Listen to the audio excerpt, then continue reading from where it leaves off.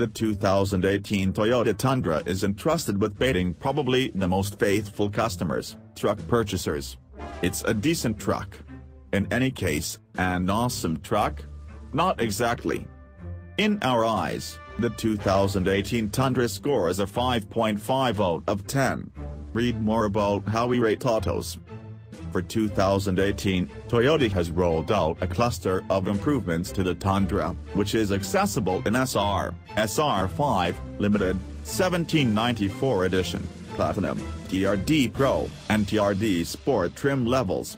The standard taxi show has been dropped, yet we question anybody will miss it.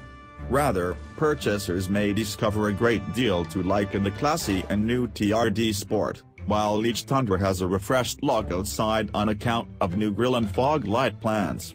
Moreover, we compliment Toyota for making programmed crisis braking, programmed high bar headlights, path takeoff notices, and versatile journey control standard on each Tundra. All Tundras are controlled by V8 motors, a 310-pull 4.6-liter is standard on SR and SR5, while a solid, 381 toward 5.7-liter V8 goes ahead every single other model. Each Tundra's V8 is mated to a 6-speed programmed. Race-wheel drive is standard on most models, and 4-wheel drive with a 2-speed exchange case is accessible.